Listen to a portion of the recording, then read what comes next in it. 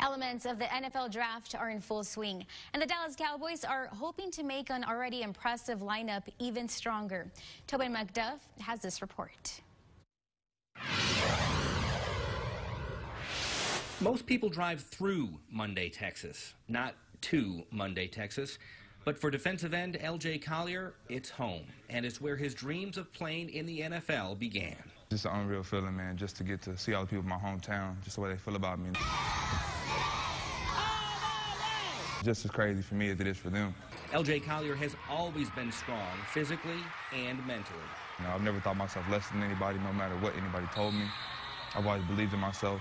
I had a lot of support, but, you know, at the end of the day, you got to believe you can do it, and I've always believed I could do this. You know, no matter what anybody told me, oh, well, you from Munday. Nobody from Munday's ever done it. Okay, I'll be the first. From defensive MVP for the Munday Moguls to All Big 12 at TCU, Collier has been feared and respected by opposing teams. You know, on the field, you know, it's a war zone. That's the mindset I like to bring to it, you know, hit anybody that ain't wearing the same color as me. When LJ's name is called in the 2019 NFL Draft, he will celebrate.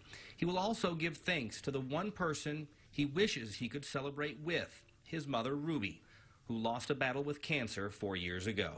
Cause my mom, last time she seen me play was my spring game my freshman year, and it wasn't the best game. You know, I didn't know that was gonna be the last time she got to see me play, and she passed away a little bit after that. You know, it crushed me. And that next season was tough, just dealing with her death and going through everything. So I told myself that next year, after that, that next spring, never again. I was gonna be a different person, a different player throughout all of it. I know uh, she loved to see who the, the guy I am today. You know, I was still growing up when she was alive, and she'd love to see. She'd be very proud of me and the guy I am today. That was Tobin McDuff reporting.